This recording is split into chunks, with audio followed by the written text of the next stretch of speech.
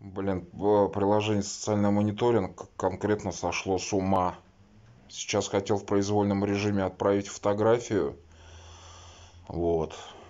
Просто хотел показать. У меня вот интернет, данные, место, как бы данные GPS, интернет включены. Но при попытке зайти в приложение, он мне просит, чтобы я номер телефона ввел. Что мне делать-то теперь? Вот я вышел из этого приложения, сейчас я еще раз. Ладно, я веду свой номер.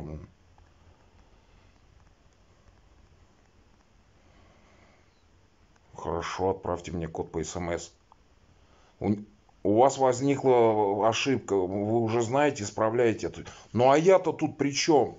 Сейчас вот мне придет на запрос сделать фотографию, а я не могу войти в ваше приложение, потому что оно просто, ну, теперь основательно не работает. Теперь я даже фотографию не могу отправить. Ладно, я сейчас попробую переустановить это приложение. Не знаю, если пом- получится. Если не получится, то все. Походу я попал конкретно на кучу штрафов. Ладно, сейчас я тогда пока закругляюсь.